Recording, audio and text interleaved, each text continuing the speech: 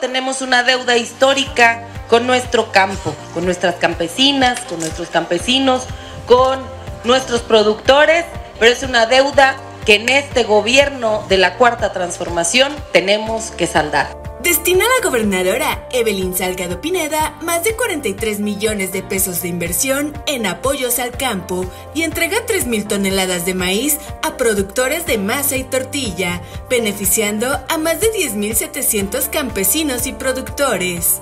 Le expresamos toda nuestra solidaridad dándole las gracias por recibir en forma directa los apoyos para el campo, ya que en otros años anteriores aparecíamos en muchos padrones y el apoyo nunca llegaba a nuestras manos. Estamos puestos y aquí hay gobernadora y hay gobierno que va a seguir trabajando de la mano de todas y de todos ustedes. Campesinas, campesinos y productores son efectivamente el corazón que hace latir a nuestro campo.